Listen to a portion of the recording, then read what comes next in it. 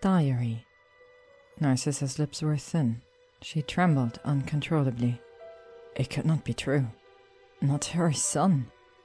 She recognized he had been even more withdrawn than usual, but she thought it was because the Dark Lord demanded he take the mark after the next full moon. Her eyes widened as she understood the implications. Death. For all of them. She had to stop him. Her gaze drifted back to Draco's diary. This is the last chance.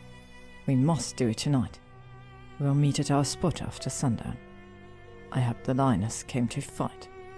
He will not go down easy. The end.